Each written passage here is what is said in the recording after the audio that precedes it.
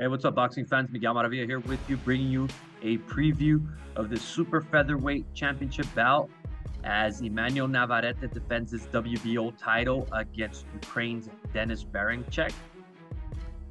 This is a uh, very fan-friendly fight. Navarrete, he uh, always comes to fight, always brings it a very exciting fighter. Guy always throws a, at a high work rate. He just throws punches from different angles, always working, non-stop, never gets tired. Berinchyk, this is his U.S. debut. As uh, you know, most uh, Ukrainian fighters, they always come to fight. They never shy away. They lay it all on the line. Navarrete too, you know, it, it's a these uh, styles basically uh, complement one another. This will definitely be a fan-friendly fight. Got Navarrete, who is uh, one of uh, boxing's uh, exciting fighters. And then again, Berinchyk making his U.S. debut, looking to impress. A lot to look forward to in this fight. This will definitely be a fun fight.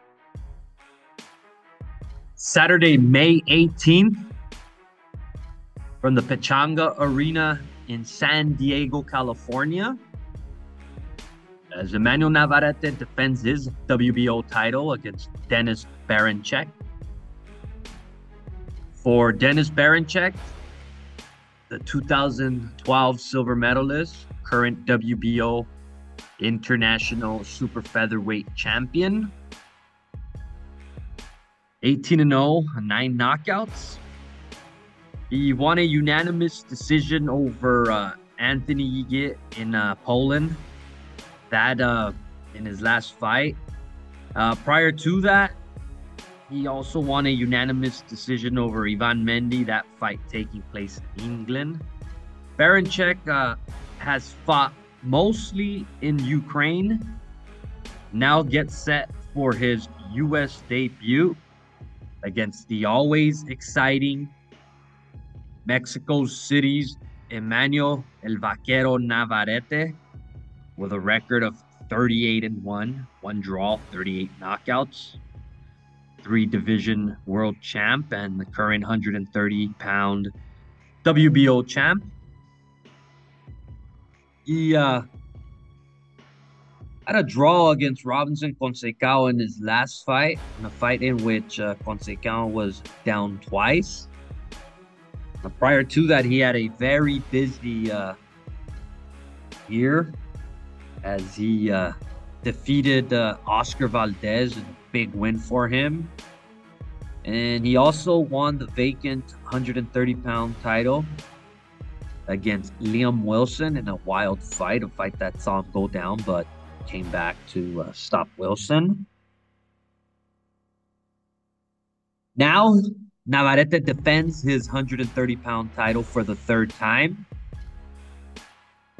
I'm picking Navarrete to win this fight. I just feel he uh, he's a more experienced fighter, and he's fought the obviously the better opposition throughout his uh, championship run. In this fight, uh, it, it's gonna be bang bang. You're gonna get both guys coming at each other. It's gonna be a very exciting fight, going back and forth. Uh, if it doesn't end in a knockout for Navarrete, it'll definitely end in a bloodbath. There'll be a It'll be a 12 round battle. Uh, of course, uh, Berinchyk's coming with everything. He's, he's not coming to uh, just, you know, be easily defeated. Navarrete gets a win here, and uh, there's a lot more to look forward to after uh, this fight. So this will definitely be a busy year for Navarrete, and uh, I expect him to uh, face some solid opposition, possibly even uh, unify the titles.